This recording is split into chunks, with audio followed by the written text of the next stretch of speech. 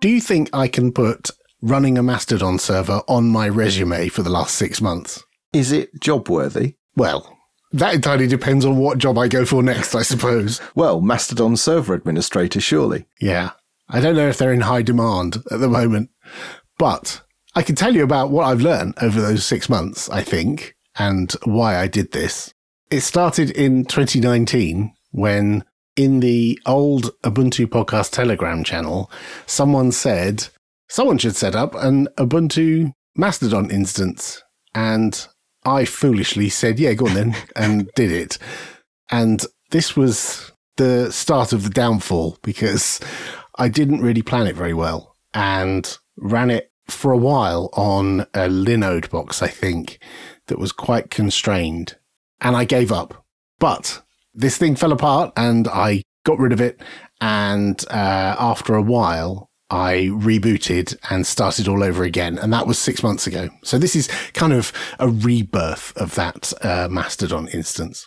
So I'm interested that you had a resource constrained server before Mastodon had its boost in popularity. so I'm interested to hear the contrast of the before times and how things are now in terms of operating a Mastodon instance. Yeah, you won't be surprised to hear that when I first set it up, it was quite a, a, a low spec Linode box because I didn't want to spend a load of money on it because I just wanted a Mastodon instance for me and my friends who were into Ubuntu and wanted to talk about Ubuntu things. And it seemed like that was a good idea at the time. and yeah, this was well before the Twitter explosion. And so the, you know, the meteoric rise of people using Mastodon and other alternatives. And yes, now there are more people on Mastodon. And yes, it takes up a lot more resources than it did in the past. But that's countered by the fact that I have intentionally constrained how many users are on this instance. I was very laissez faire with the criteria of how you get an account on the old one. And on this one, I've said you have to be an Ubuntu member. And that's kept it below 40 people, whereas before it was hundreds and it was killing the server. and so the balance of those two things is there's fewer users. Even though it's more popular, I've got fewer users. So, paint us a picture of those resources. You said it was a constrained server. What did that look like? And what does the one you're running it on now look like by comparison? so, the first server I ran was, I can't actually remember because I think I destroyed it in a ball of flames, but it was a low end Linode box, one of the like cheaper end machines. It might even have been shared CPU. It was, it was not a high end mm-hmm. box. And the resource that kept running out was disk space because on those low end machines, you don't get a lot of disk.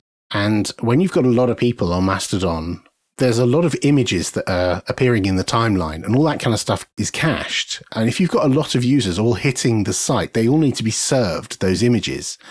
Now, there are ways you can work around that. You can host the images elsewhere. You could put them in a bucket somewhere on AWS or some other object storage somewhere, but I'm I'm not that kind of guy. So they're all on the file system of the of the Mastodon instance itself, which yes is not good, and that was a lesson learned from version one of Ubuntu.social.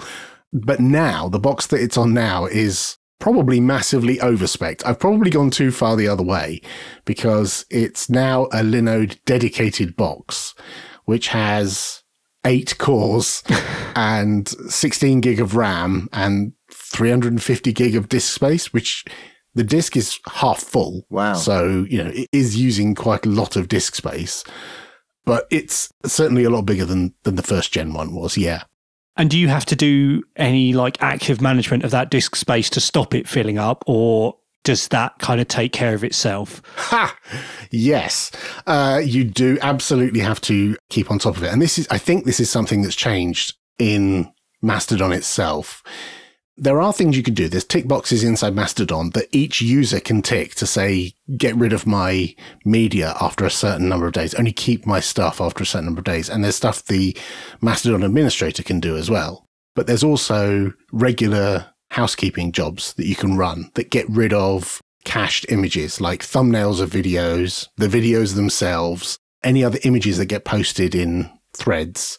And you can set a certain number of days old that it will get rid of them. Mm-hmm. So, for example, a week old, like you could argue no one's looking at the timeline older than, you know, yesterday or the day before or a week ago. And so we could just get rid of that cache. And that's partially true. It does degrade the experience because if you happen to have a post that is something someone stumbles upon, that image is not there, not on disk on your instance. If you go to the instance where that post originated, then you might be able to find it. On the first instance, I was really aggressively clearing that stuff out, but I was having to do it manually because not a lot of the tools were there. The admin tools were there. Those tools in Mastodon have improved. And so now it's a copy paste job of a few lines in a cron tab to get rid of that stuff. So I worry about it a lot less now. Yes. So if you're sort of purging assets that are no longer timely, do those ever get re-pulled in if somebody goes back and scrolls back through the timeline or are they gone forever? I'm not entirely sure. I think if you go to the home server, you'll see those images. But I think if you scroll back, I think even if you hard refresh, I don't think they come back. I don't think you can force the server to re-get them. I'm not sure. I'm not entirely sure. I don't tend to test that use case, but okay. it is certainly a very valid question and one why uh, the answer to which explains why I probably don't want to put Mastodon on my resume because I'm clearly not an expert in all the operations of this piece of software, which is it's a relatively complicated bit of software running on that box. Yeah, I think if you're going to put Mastodon on your resume, you're probably going to have Ceph right next to it to organize all your storage. Right. There's certainly a lot of components to it, and it's one of the more complicated things. Like, you know, I've run like Drupal and WordPress and other stuff, but not where I've got 30 or 40 other people who are relying on it and using mobile apps to access it all hours of the day and night and browser tabs constantly and posting images and photos and videos and stuff. So I've got some questions about that sort of, you know, community use. So the first is, what's the uptime been like? You know, have, have there been any fails and how do you deal with that stuff? So that's a great question. And it's been really good. I have used Linode's backup facility. So uh, meaning it's being backed up. I've also added a Postgres backup script. So periodically there'll be a job run that dumps out the Postgres database to the file system so that I get a snapshot of what the database was at a point in time. Because I, yeah, I'm not entirely sure how atomic that backup would be that Linode do. Mm-hmm. Probably at the block level. I don't know, but I thought I'd do that anyway because it might mm-hmm. be useful if I want to go back in time or something. I've not had any catastrophes. I've done a few software updates. I installed it on Mastodon 3 dot something, and then there was a big upgrade to 4 dot X and then a few minor upgrades. I did one yesterday, I think it was, or a couple of days ago, and uh, they've all been pretty smooth. And the release notes on GitHub explain what you need to do. And there's a pattern. You might need to update Ruby if there's some CVE in Ruby or some feature in Ruby that the new version of Mastodon needs, then you might need to update that. And it gives you the command you need. It's not hard.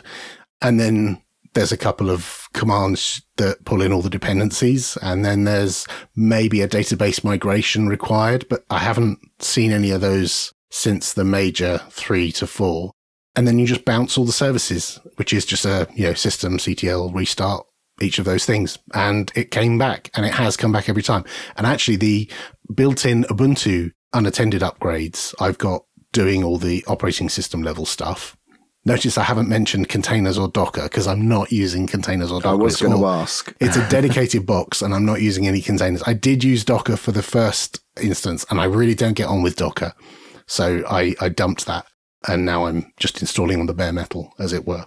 And so my other question about community use is because of the federated nature of Mastodon, if you're on an instance, your sort of world view is kind of governed by the instance that you're on and what you can see.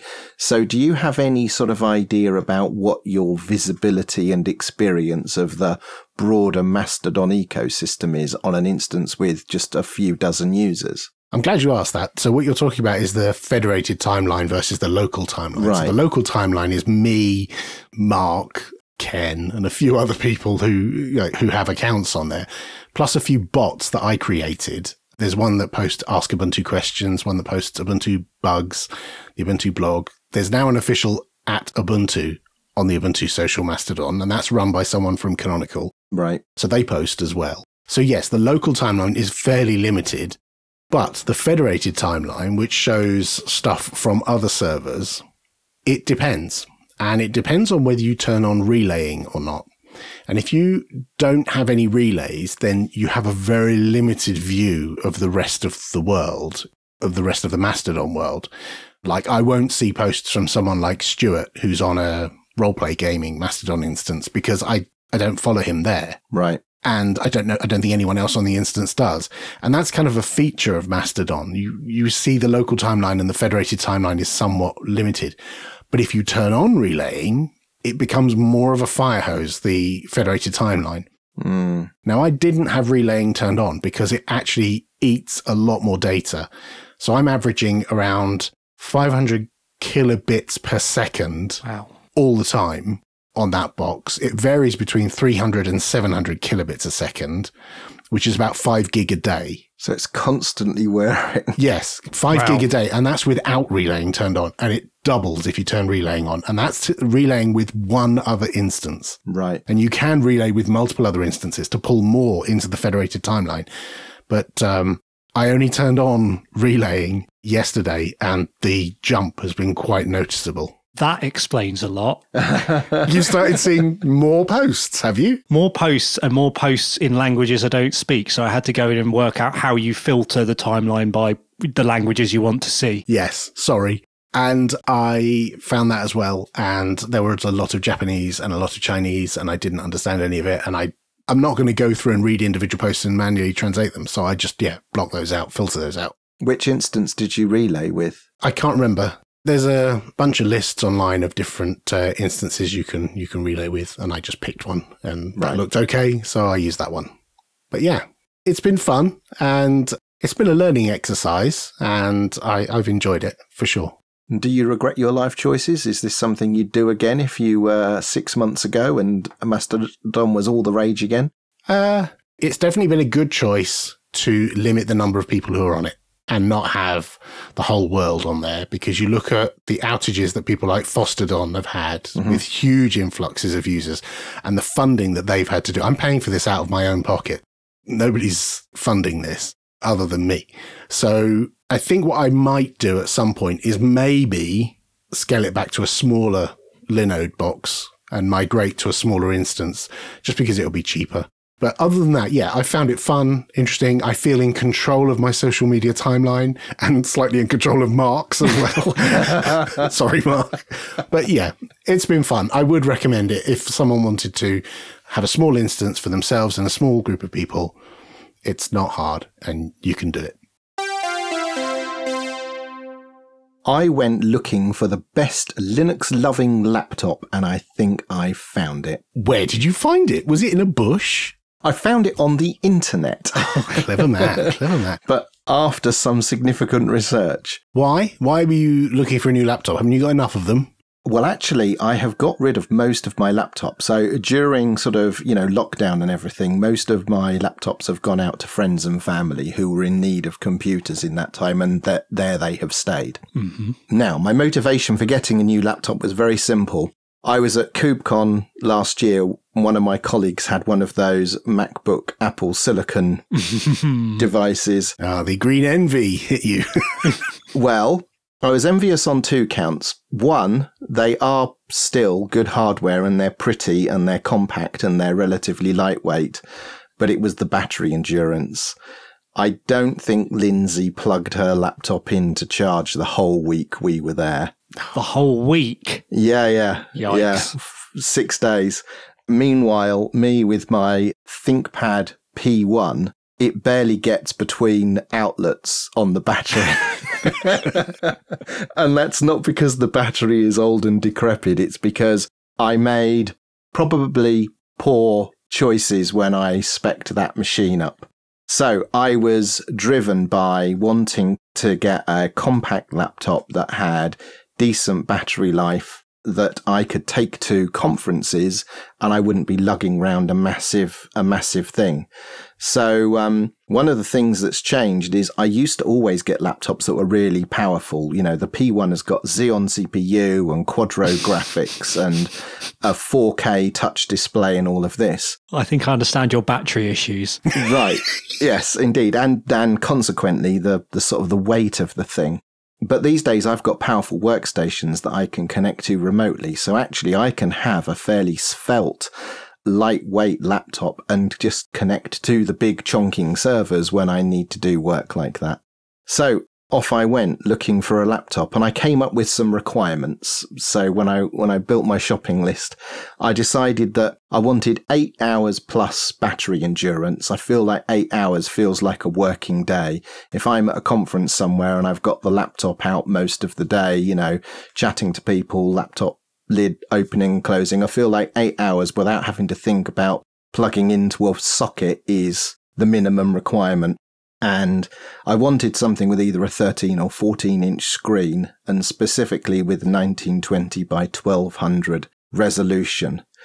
And that was specifically because my last two laptops have both been 4K and I feel like there's a penalty on the battery life when you have these high definition screens. There's a lot of pixels to illuminate and that drains the power.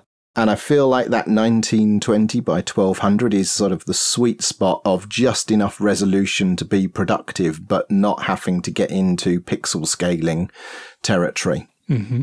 You said I feel like it's it's eating the battery. Is that a known thing? Like more pixels basically it's going to chew your battery harder. Is that just known knowledge everyone has? Yes, I will be very clear. I don't feel it. I know it. Okay. I do feel it. I feel the sudden rush of electrons out of the battery. Right. right. Makes your hair stand on end. It really does. Um, and I was quite intrigued by these new AMD 6000 series CPUs. In the past, we reviewed an AMD laptop which had the 4000 series CPUs, so a couple of years ago now or more, and I was super impressed with them then. So I wanted to have plenty of RAM, plenty of storage, no discrete GPU, again, for battery endurance reasons. And I wanted it to be USB C only, no barrel connectors or any of that nonsense. One connector to rule them all. And I wanted a good quality keyboard and trackpad. And this is where things get dicey ah. because that was the other thing I liked about the MacBook. You basically want the moon on a stick, don't you? I want a unicorn. Yes. Right, yeah. Yes. Um, and I also wanted it to be about a kilo in weight. and then um, just to uh, sort of push out the requirements to uh, the nth degree, it must come with Linux pre-installed Right. because I, that was my measure of this is a Linux compatible laptop because it ships with Linux. Mm-hmm. So ordinarily people would say start from the other end with I would like a Linux laptop and then look at the options available and then filter them down a little bit until they get the one they want. Whereas you've started with the other end. I, I want this high end, lightweight, beautiful, long battery life Yeah. device. And by the way, it should run Linux.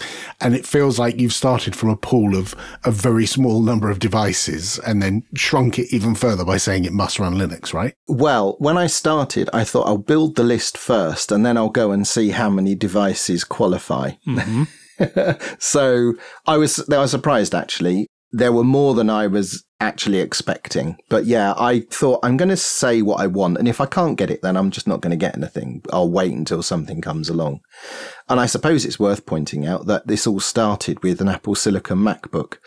And as impressed as I am and kind of amazed at the progress the Asahi Linux project has been making, getting a MacBook and running Linux on it is not a sort of conference friendly device because things like HDMI ports don't work yet. So plugging into projectors and things of that nature as a speaker is sort of off the cards. So MacBooks were a non-option. And the fact that you've said must run Linux has knocked all Apple hardware on the head, really. Yes, mm-hmm. indeed. Right. Indeed. I also made another decision very early on, which is I decided I wanted one of these AMD 6000 CPUs. Nothing else interested me. I'll get into why in a moment. So that consequently, anything with an Intel CPU was kicked off the list. So the Dell XPS series, those, those were all out because they're Intel only options. And at that time, it also ruled out everything that Framework were offering because ah. at the time they were hmm. Intel CPU options only too. And then I went round all the usual sort of reputable Linux laptop vendors, the likes of System 76 and Entroware and Slimbook and Star Labs. And for various reasons, none of them had anything I could buy because either there was no AMD options, they weren't available in my region, or they had extremely long lead times, like mm-hmm. six to nine months. Oh, wow. Yeah. And HP had no Linux pre-install options whatsoever. And, you know, when you get into the smaller tier vendors, you know, Asus and things of that nature, Gigabyte and what have you, they obviously don't have Linux options either. This isn't sounding terribly promising. No, this is a terrible story, Martin. no, but then then the white shining knight comes charging over the hill in the guise of everything from Lenovo in their ThinkPad range. And the entire ThinkPad range from Lenovo has pre-installed Linux options of either Fedora or Ubuntu. And several of the ThinkPads in that range have AMD CPU options. So I now have just one, one line of laptops to concentrate on. So I was very impressed with all of the ThinkPads, and I got it down to two that I was most interested in. That was the ThinkPad Z13 Gen 1 and the ThinkPad T14S Gen 3. And they both had AMD options. They had all of the bits and pieces that I wanted, and it was just about form factor and fit and finish. And in the end, I went with the Z13 because it is beautiful to behold. it's not the industrial design of yore, is it? yeah, that's a good point, actually. Yeah, if you're familiar with the classic ThinkPad design, the sort of the black chassis with the red accents, it's not this at all. It's it's not the ThinkPad keyboard you're familiar with. It's a, a, a low profile tactile keyboard and it's a large trackpad with no physical buttons. You do still get the touch point and all the rest of it. So it's just an amazing laptop. So the one that I got has the Ryzen 7 6850U CPU, which is not the absolute best you can get, but that was actually a choice of mine because again, it doesn't run, the clock doesn't run as fast and therefore the battery mm-hmm. endurance is just a little bit better. And it has 32 gigs of RAM and it has one terabyte NVMe, which I've upgraded. Maybe I'll talk about that in the future because that was a game. and it's got that screen that I wanted, 1920 by 1200 and it's non-touch. So that also saves a bit of extra power by not having a touch digitizer and the laptop fully decked out with all its gear is just over one kilo in weight. And it's fabulous. And the key question is do you get eight hours of runtime with it? No. I, I get 11 hours of oh, battery life out. that, that'll do then. Wow. Yes. So um, I've been using it for several months now and yeah, routinely get 10 to 11 hours of actual use out of this thing. It's absolutely fantastic. And there were some other standout features about this as well. One of the things that really impressed me was all of the packaging was 100% renewable and compostable and the plastics that are used in the device, 95% of those are recycled and 75% of the aluminium is recycled. It's an aluminium chassis. So actually on sort of the eco-friendly scale, this was pretty impressive. And I think this was a key sort of design decision about how these laptops were created. And then in terms of all of the other things that I cared about, the trackpad is sublime. I do have a MacBook, a, a rather aging MacBook, but nevertheless, this trackpad in the Z13 is the first time I've used a trackpad on not a Mac that is as good as a Mac. It's fantastic. I've been super impressed. And it's USB C all over, and it has a Courage port as well. It does have a Courage port, and it has two USB C ports, yes. Nice. It sounds like you're absolutely delighted with this choice, and your shopping criteria seems to have been met absolutely perfect. It really has. It hasn't disappointed in any respect. It came shipped with Ubuntu 2004.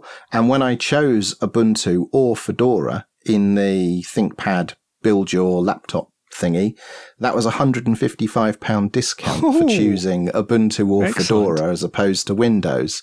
Now, that discount varies on the model, so it's not always that high, but it is often upwards of 80 quid. And is the the pre-installed image fairly sensible and well set up? I've, I know that when we've reviewed some in the past, there's been some oddities in the in the image that you get. Yeah, the OEM image is always vary a little bit. So you get Chromium and Firefox, for example, which is the sort of most obvious, very obvious difference.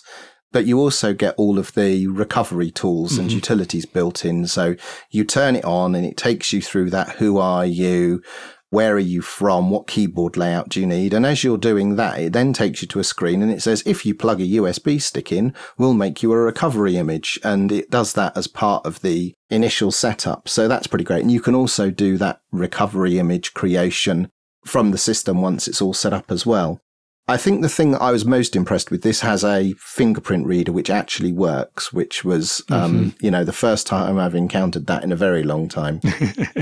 Nice. So yeah, I have zero complaints.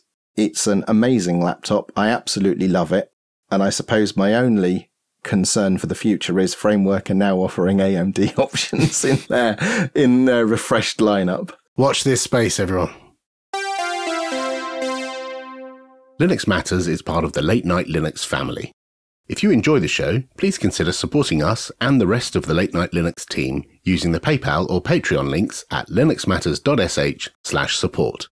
For $5 a month on Patreon, you can enjoy an ad-free feed of our show, or for $10 get access to all the Late Night Linux shows ad-free. You can get in touch with us via email, show at linuxmatters.sh, or chat with other listeners in our Telegram group. All the details are at linuxmatters.sh slash contact. Well, I am no longer gaming on my Steam box. What? Hang on a minute. You may remember a few years ago when when we met up for a curry. Around the time that you arrived at my house, I also received a big box of bits from Amazon, which I was using to build my Steam box. And this was refreshing the the one I'd had under my TV for several years with pretty much whole new insides.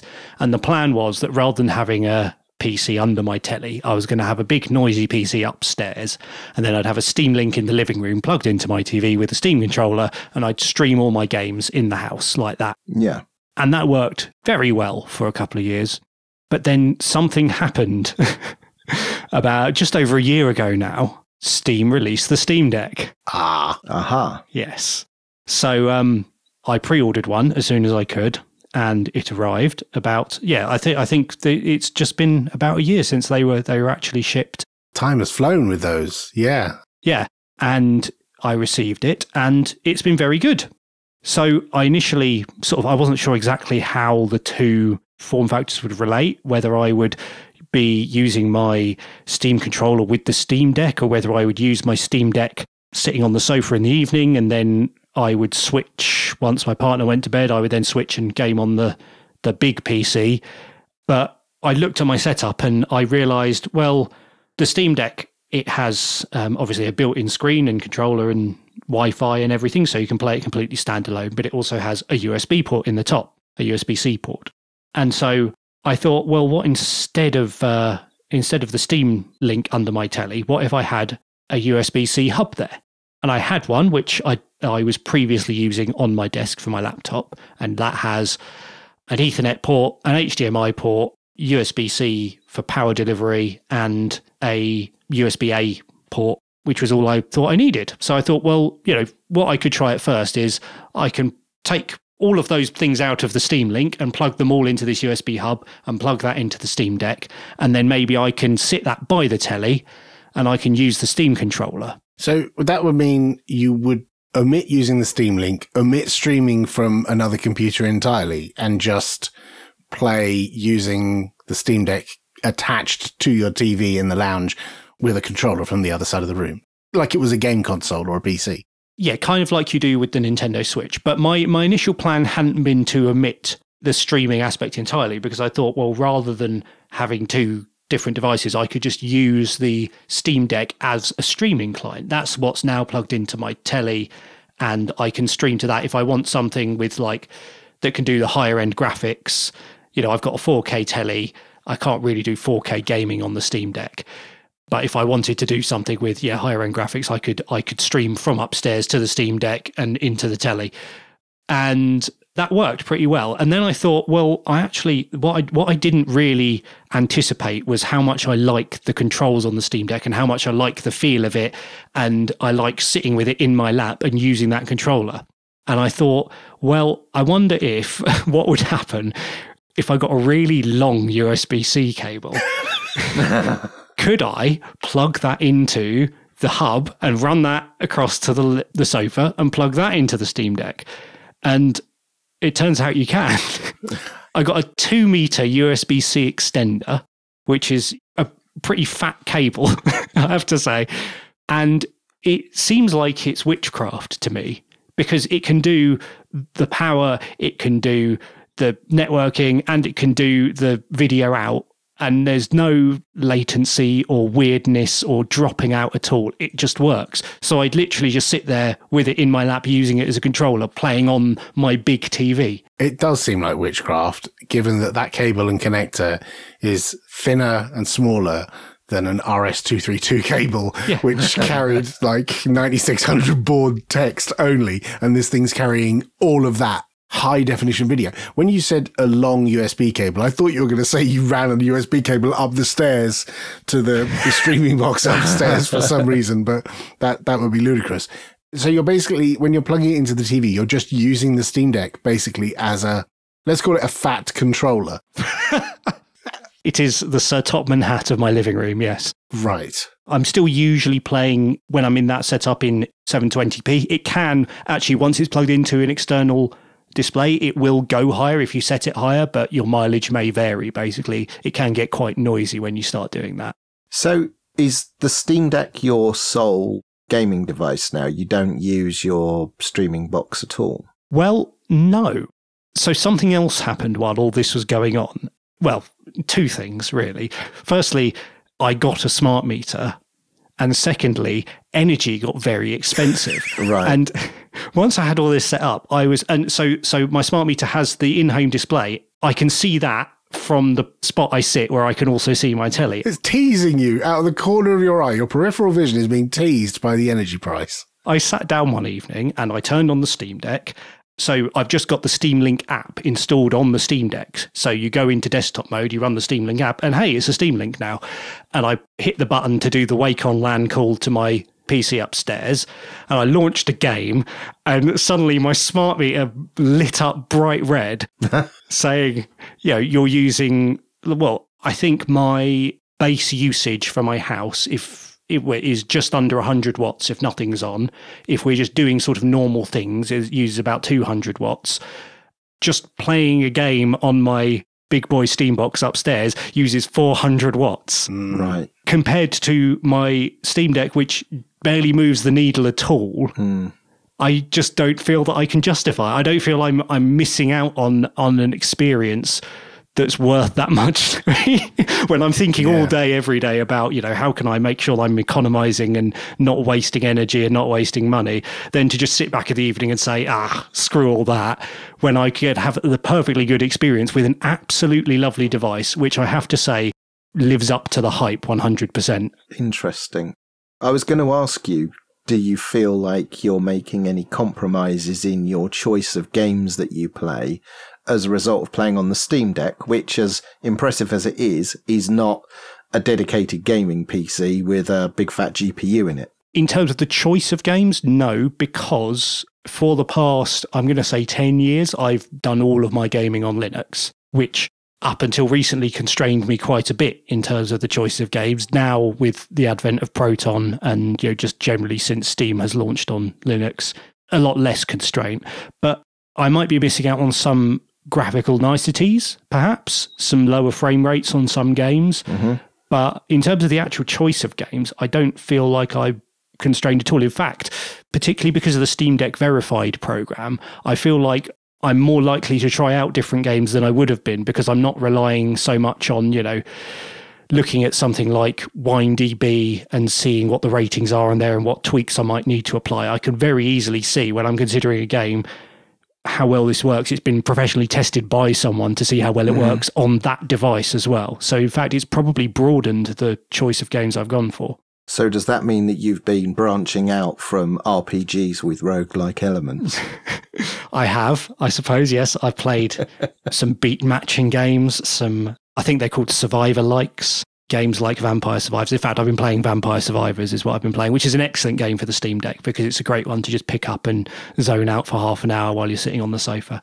I suppose the fact that you've got the Steam Deck in your hands, you get the benefit of the controller, but having it on the TV in front of you means you also get the benefit that other people in the room can enjoy watching you play the game as well, if that's what they like doing. And, you know, telling you to put the red queen on the black king and, you know, whatever else, game of solitaire or whatever it is you're playing.